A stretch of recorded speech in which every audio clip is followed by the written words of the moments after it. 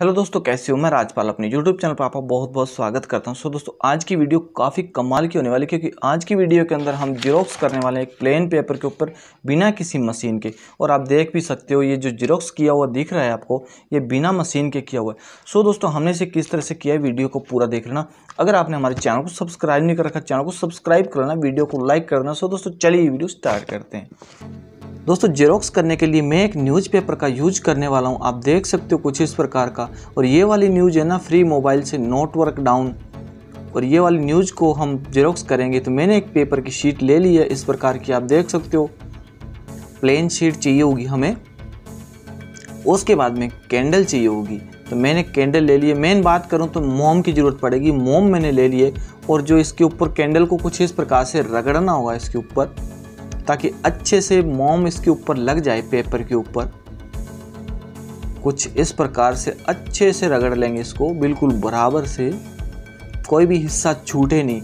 जहाँ जहाँ पे हमें जेरोक्स करना होता है, उस हिस्से पे कुछ इस प्रकार से रगड़ लेना होता है। आप देख सकते हो कैंडल को कुछ इस प्रकार से रगड़ लिया मैंने। मोम उसके ऊपर लग गया, पेपर के ऊपर। अब इस पेपर को उल्टा करके जिस हिस्से को हमें जेरोक्स करना होता है, उस हिस्से के ऊपर रख दिया जाता है। तो यहाँ से हम जीरोक्स करने वाले हैं। तो इस हिस्से को कुछ इस प्रकार से रख देंगे।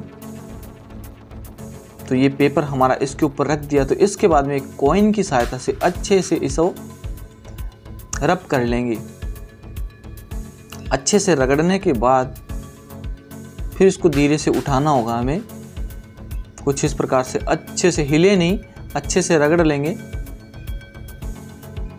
अब देख सकते हैं कॉइन मैंने रख दिया अब इसे उठाते हैं। तो आप देख सकते हैं दो, दोस्तों जीरोक्स हो गया है इसके ऊपर।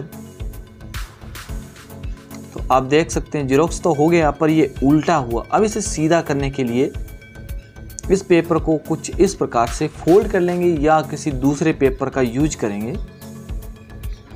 कुछ इस प्रकार से फोल्ड किया इस पेपर को मैंने या दूसरा पेपर भी यूज़ कर सकते हैं ऐसी बात नहीं है। कुछ इस प्रकार से फोल्ड कर लिया।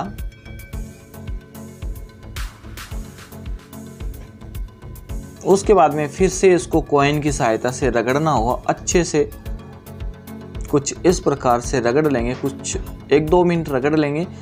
इतना ध्यान रहे कि पेपर फटे नहीं।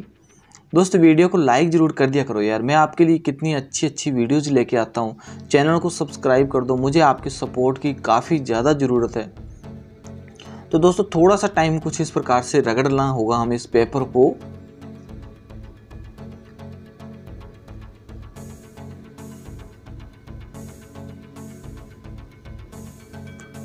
तो अब दोस्तों, इस कॉइन को हटा देते हैं और इस पेपर को खोल के देखते हैं।